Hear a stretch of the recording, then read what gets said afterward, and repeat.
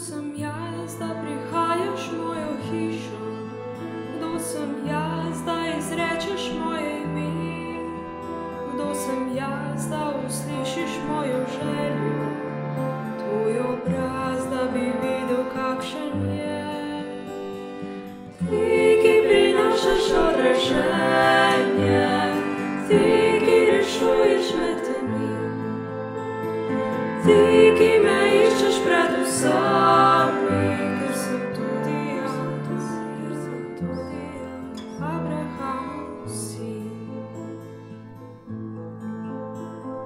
Grešnik sem, a prihajaš v mojo hišo, grešnik sem, a izrekaš moje ime.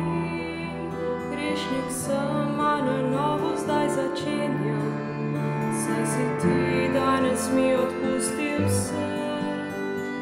Ti, ki prinašaš odrešenje, ti, ki rešuješ med